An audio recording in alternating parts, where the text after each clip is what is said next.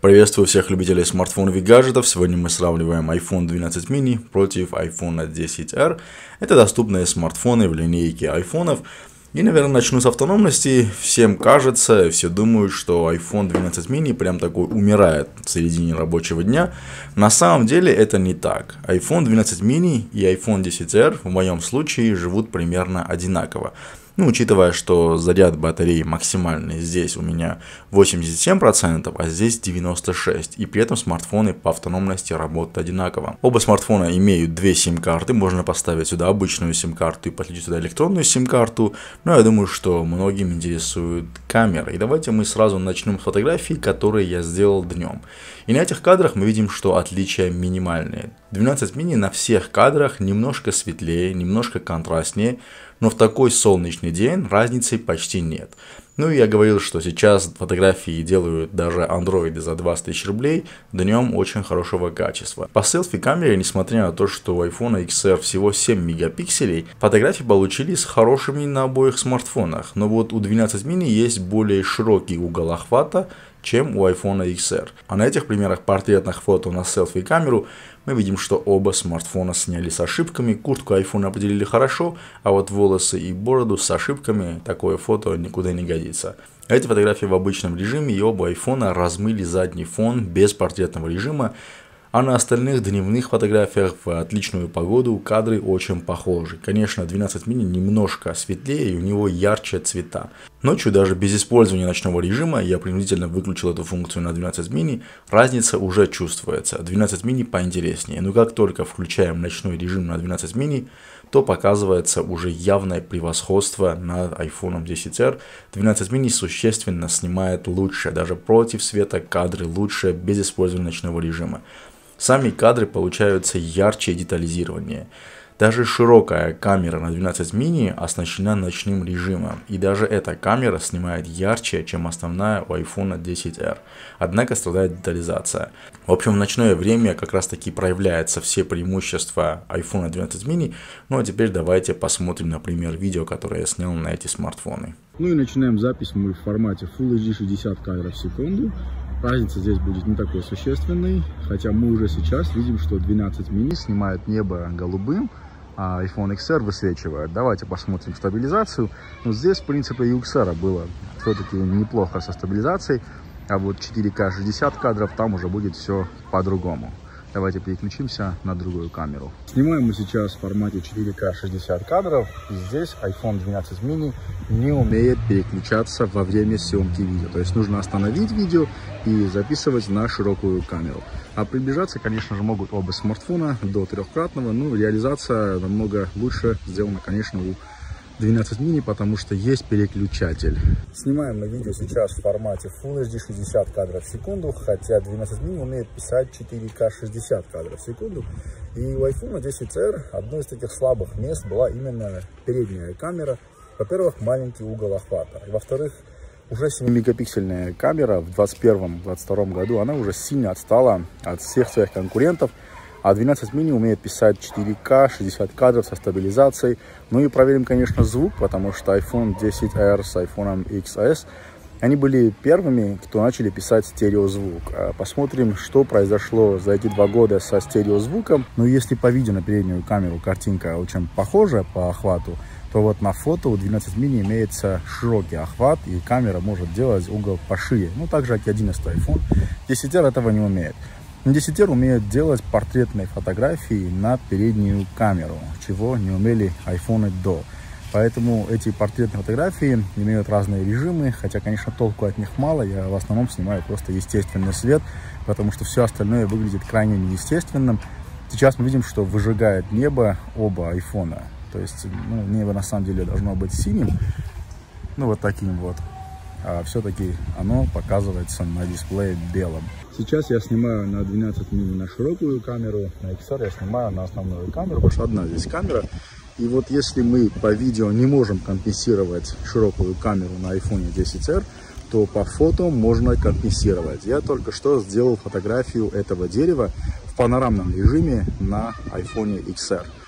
И у нас получился вполне неплохой кадр, то есть я вот так вот снизу взял и аккуратно провел, сделал такой панорамный снимок, и все дерево вошло в кадр. Поэтому в формате фото мы можем как-то заменить отсутствие широкой камеры на X-серии. Ну а 12 мини, конечно, пишет и на видео, и мы можем вот так вот классно переключаться и приблизиться до трехкратного зума. А это вот уже основная камера. В общем, переключение очень крутое, очень быстрое и плавное. 12 мини делает это просто на ура. Снимаем мы в формате Full HD 60 кадров уже ночью. Посмотрим на стабилизацию, как смартфоны отображают ночное время картину, потому что все-таки ночной режим на айфонах работает преимущественно на фотографиях. Посмотрим, какая разница между этими смартфонами при съемке ночью Снимаем мы в формате Full HD 60 кадров. Уже ночь. Мы можем посмотреть на работу фонарей против света. Посмотрим, что там творится сзади. И как смартфоны держат стабилизацию, когда я просто хожу ночью. Как бы iPhone 10R не считался устаревшим камерафоном, потому что у него всего одна камера и отсутствует ночной режим, на iPhone 10R я сделал огромное количество фото, очень много видео на этом канале я снял именно на iPhone 10R, и iPhone 10R отстает немножко от 12 mini, но это все еще очень прикольный камерафон, особенно дневные фотографии, плавность видео у него на самом деле очень хорошая. Ну и на iPhone 12 mini появились некоторые программные фишки. Например, у приложения есть обнаружение сцены и коррекция объекта. Обнаружение сцены это искусственный интеллект, который мы видим на Android смартфонах. У iPhone 10R этих фишек камеры нет. Друзья, если вам нравится подобное сравнение, подписывайтесь на наш канал, потому что мы еще готовим много таких разных сравнений. Ну и всеми этими алгоритмами фото и видео управляют, конечно же, процессоры, так называемая система на чипе. Здесь у нас 7 нанометров, здесь у нас 5 нанометров, 4 гигабайта у 12 мини, 3 гигабайта iPhone XR. И давайте мы сравним быстродействие. Давайте мы закроем сейчас все приложения и попробуем открыть какие-то обычные приложения, которые не слишком тяжелые. Ну, давайте начнем мы с календаря. Здесь у нас все будет очень одинаково. Давайте откроем более тяжелые App Store. И да, чуть-чуть у нас быстрее 12 мини. И во всех сценариях будет 12 мини немножко быстрее. Ну и теперь про дисплей, потому что он у нас, конечно, разный. IPS против AMOLED. Многие считают, что у iPhone 10R такой дисплей нехороший, потому что у него маленькое разрешение. Ребят, в обычной жизни не чувствуется какого-то дискомфорта при использовании дисплея iPhone 10R.